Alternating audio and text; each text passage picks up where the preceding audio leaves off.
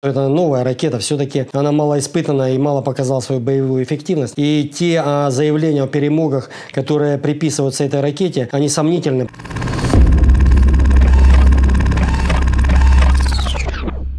Факт наличия у украинской стороны, у украинских ВСУ противокорабельных ракет «Нептун» он установлен. Что касается тактико-технических характеристик этой противокорабельной ракеты, то практически полностью все ее характеристики срисованы, так скажем, с нашей Х-35, которая установлена на береговых ракетных комплексах БАЛ с дальностью стрельбы от 130 километров, а в последних модификациях до 280. Что касается украинской ракеты, ракеты, то по заявлению украинской стороны эта ракета преодолевает расстояние примерно в 280 километров, но ведутся работы для того, чтобы она больший радиус боевого применения имела. Что касается системы наведения, то, безусловно, мы понимаем, что контактный взрыватель, который находится вместе с боевой частью, находится а, в передней части ракеты. Что касается оперения, вы видите, то оно необходимо для того, чтобы корректировать курс. Мало того, когда они в контейнере, эти крылья могут быть сложены. Эти крылья могут становиться в боевое положение после после уже выпуска ракеты с э, боевого контейнера. В контейнере размещается 4 таких ракеты. Что касается количества ракет, которые есть на вооружении ВСУ, здесь ну, нужно, мы можем говорить лишь о, о дивизионе максимум двух. А, то есть это примерно 8 батарей, я думаю. Это максимальное количество. Где-то трижды 8, 24 штуки. Ну, максимум. Это новая ракета. Все-таки она мало испытана и мало показала свою боевую эффективность. И те а, заявления о перемогах, которые приписываются этой ракете, они сомнительны, потому что что именно в тот период Украина получила гарпуны. То есть мы можем понимать, что экзистенциальную угрозу Черноморскому флоту, нашим кораблям в акватории Черного моря большую угрозу представляют гарпуны. Но списывать со счетов украинские разработки мы тоже не можем, потому что они основаны на советских разработках. Что касается скорости, мы должны отметить, что это дозвуковая ракета, то есть она летит со скоростью меньше маха. Это значит, что в принципе средства огневого поражения, которые есть на вооружении наших, наших систем ПВО, все быстрее нее. Это значит, что в принципе по большому счету ее можно э, и на маршевом участке ловить, и на окончательном э, участке траектории. Реальность в том, что мы можем перехватывать эти ракеты нашими системами и комплексами ПВО.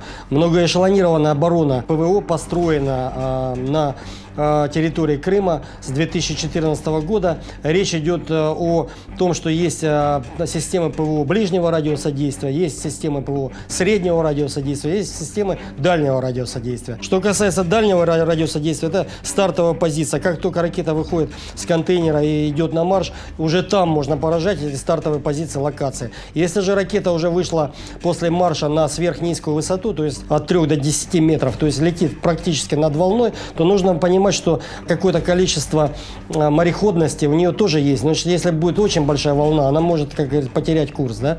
Если будет э, штиль на море, то она преодолеет э, эту проблему. Но при этом, э, если она будет обнаружена различными, причем способами, нашими системами ПВО, это могут быть радары, это может, могут быть наша истребительная, наша авиация, которая работает в тандеме с э, комплексами ПВО, на, находящимися на берегу, либо корабельными комплексами ПВО. И тогда этот вопрос будет решаться в э, кооперации, то есть как э, действует единая система управления тактическими звеньями. То есть получается команда, значит эта команда распространяется на не один даже, а на целую батарею комплекса э, нашего «Панцирь с или там это может быть Тор. А, и идет поражение огневое этого средства.